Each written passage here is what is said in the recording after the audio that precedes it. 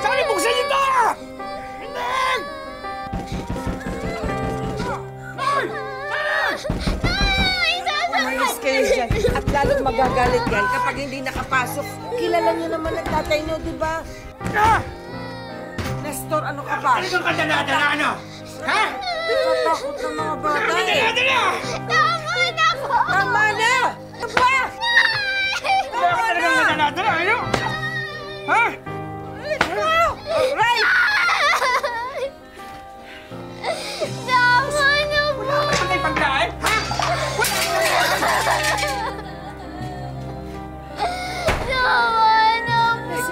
Naman.